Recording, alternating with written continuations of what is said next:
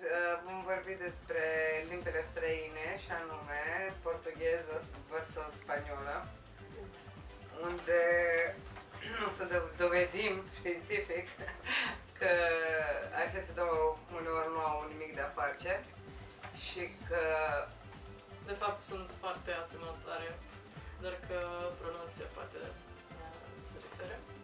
dar cuvintele pe care le-am ales noi sunt foarte diferite unele de altele și Nu toate. eu n- nu mi-aș fi dat seama la unele ce înseamnă în portugheză.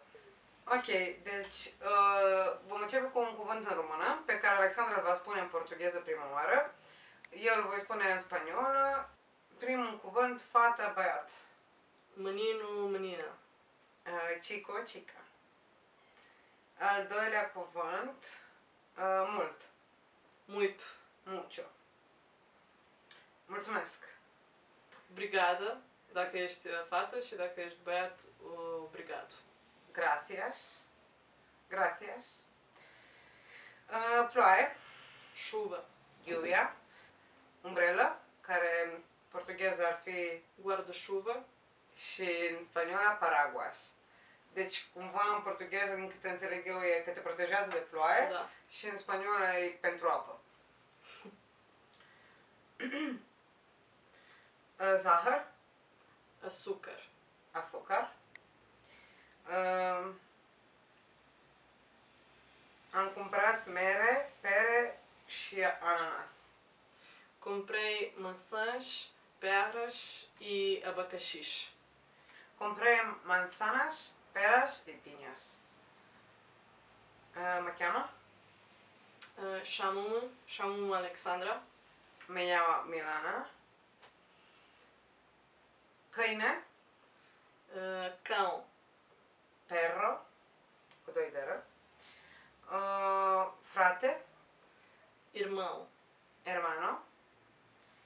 Uh, iubit, iubită. Uh, namorado, namorada. Novia, novia. Frutura, Borboleta. mariposa. Frigider, Frigorífico. nevera.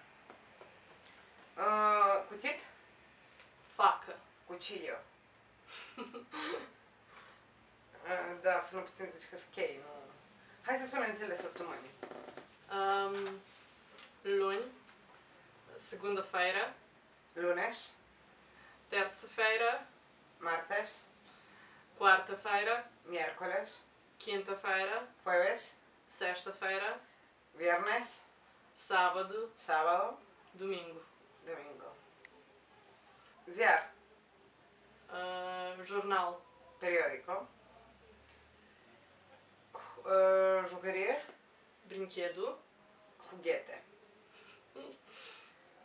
Uh, singurătate, Solidão. soledad. Cunoscut și ca și nume în spaniolă. Ziceam că ar fi super amuzant să ți se numească copiii Soledad y Esperanța. Roșu, Vermelho. rojo, n-ar nicio treabă. Verde, Verde. uh, azul, Azul. mm, Branco. blanco Ah, ok. y negro. Uh, în portugheză există și negru și preto pentru uh, aceeași culoare. Reparar uh, în portugheză înseamnă a observa. Și în spaniolă a repara. Acordar, în spaniolă aș aduce aminte. În portugheză înseamnă a se trezi. Aceitar, în spaniolă e când adaugi ulei în uh, unele preparate. În uh, portugheză înseamnă a accepta. Presunto, în spaniolă e uh, a presupune. În portugheză e șuncă. Și, Hamon, în spaniolă. și de aici uh, am zis că putem spune o propoziție. De exemplu, um, Doresc un sandwich cu șuncă și un suc de portocale, care în spaniolă ar veni Quiero un bocadillo con jamón y zumo de naranja. Uh, quero um sanduíche com uh, presunto e um sumo de laranja. Îmi place mult să fac sport, me gusta mucho hacer deporte. Uh, gosto muito de fazer desporto. Salsa, în spaniolă înseamnă sos. În uh, portugheză e pătrunjelul. În spaniolă, feciar înseamnă a programa. În portugheză se pronunță uh, acel grup de litere C, H, uh, Ș uh, și se pronunță fișar, uh, înseamnă a închide. Polvo în spaniolă înseamnă praf. În portugheză e caracatiță, polvo. Pulpo în spaniolă. Pulpo gallego e cea mai bună, cea mai bună mâncare ever. Uh, taller în spaniolă înseamnă workshop sau uh, ta- Mm, Atelier. atelier.